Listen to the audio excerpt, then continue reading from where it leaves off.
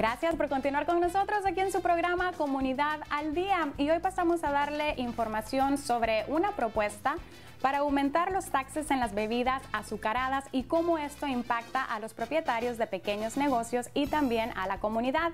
Para que nos dé todos estos detalles, pasamos con Ángeles Roy. Ella es organizadora de la campaña Stop Unfair Beverage Taxes de la coalición por una ciudad asequible. Aquí lo tienen. Bueno, se encuentra aquí con nosotros en nuestros estudios Ángeles Roy. Ella viene representando la coalición por una ciudad asequible y viene a hablarnos en particular de la campaña Stop Unfair Beverage Taxes. Nos vamos a enterar aquí de qué se trata y cómo esto va a afectar a nuestra comunidad. Ángeles, bienvenida. Gracias, Leticia, por tenerme. A ti, bueno, cuéntame eh, en específico de qué se trata esta campaña de Stop. Eh, te explico. Eh, los supervisores de esta ciudad, algunos de ellos, están tratando de pasar una nueva legislación que impondría un impuesto de 2 centavos por onza a todas las bebidas azucaradas. Todas las bebidas azucaradas en la ciudad de San Francisco van a costar. No solamente las sodas, sino que muchos tipos de jugos de fruta y verdura, bebidas energéticas, bebidas en base a café o té, todo lo que contenga azúcar añadida sería, eh, sería más caro. ¿Por qué? ¿Para qué? ¿Cuál es el propósito? El propósito es reducir el consumo de estas bebidas y para así destinar el dinero a programas de recreación y de nutrición. Eh, lo que nosotros vemos como coalición es que la ciudad de hecho tiene el dinero para destinar a estos programas, que no hay necesidad en el fondo de em, perjudicar a los pequeños negocios y a los residentes más pobres de esta ciudad con un impuesto que puede que no tenga ningún efecto en el reducir el consumo. Ok, para la gente que nos está viendo ahorita, definitivamente esto es algo que va a afectar eh, eh, a toda la comunidad, no tanto a los dueños de negocios como, como a la gente, a los consumidores.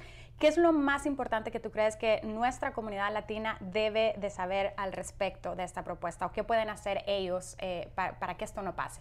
Estupendo. Bueno, lo más importante es que la comunidad tiene que entender que este impuesto va a elevar el costo de los comestibles en general, porque no hay nada en la legislación que diga que este impuesto se va a cobrar solamente en esas bebidas, sino que depende del que los vende.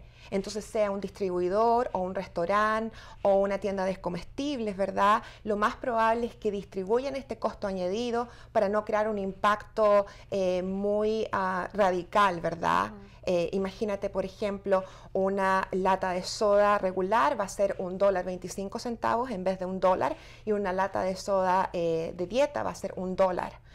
El diferencial, ¿verdad? Va a ser muy complicado el mantener eh, track y records, porque también tenemos que recordar que aquellos que distribuyen este tipo de bebidas o las venden van a ser responsables de, de explicarles a la ciudad cómo ellos están eh, coleccionando este impuesto. Asimismo, va a tener que registrarse con la tesorería de la ciudad. Ok, ¿cuándo vamos a saber si esto es algo que pasa o que no pasa, que va a estar en la boleta de noviembre o no? Exacto, bueno, esto es sumamente importante. Eh, va a haber una audiencia el día 26 de marzo, este es el miércoles de la próxima semana, a las 12.45 del día. Nosotros como coalición nos vamos a estar reuniendo en North Light Court, que es al lado derecho de donde están las escaleras, ¿verdad? Dentro del City Hall y de ahí vamos a ir a, eh, bueno, donde la Junta de Supervisores se reúne. Ese es el día en que se va a determinar si esto se va a poner a votación en noviembre y es súper importante que si las personas que están en su casa ahora se oponen a este impuesto, que se presenten ese día, que se unan a nosotros para decirles a los supervisores el por qué esta es una mala idea. Ángeles, muchísimas gracias por compartir todo esto aquí con nosotros. Muchas gracias, Leticia. Bueno, muchísimas gracias Ángeles. Una vez más, con esto nos vamos a ir a una breve pausa y cuando regresemos le estaremos contando cómo puede estar preparado en caso de una emergencia. Ya volvemos.